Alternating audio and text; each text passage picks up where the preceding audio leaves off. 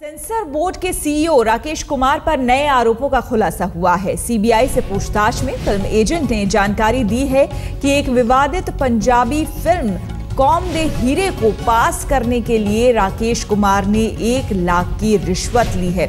हम आपको बता दें, सेंसर बोर्ड के सीईओ हैं राकेश कुमार। कुछ दिनों पहले ही इन्हें गिरफ़्तार किया गया और इन पर आरोप लगे हैं कि फ़िल्मों को पास कराने के लिए सेंसर बोर्ड से ये पैसे लिया करते थे।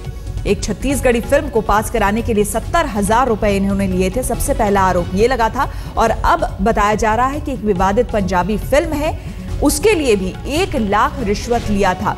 यही नहीं 2014 में कई ऐसी फ़िल्में हैं, क्योंकि 2014 जनवरी में इन्होंने सेंसर बोर्ड के सीईओ का पद बाहर संभाला ही था। इसलिए बताया जा रहा है कि 2014 में जितनी भी बड़ी फ़िल्में निकली हैं, उसमें कहीं ना कहीं उन लोगों का हाथ रहा है जो मीडिएटर रहते हैं।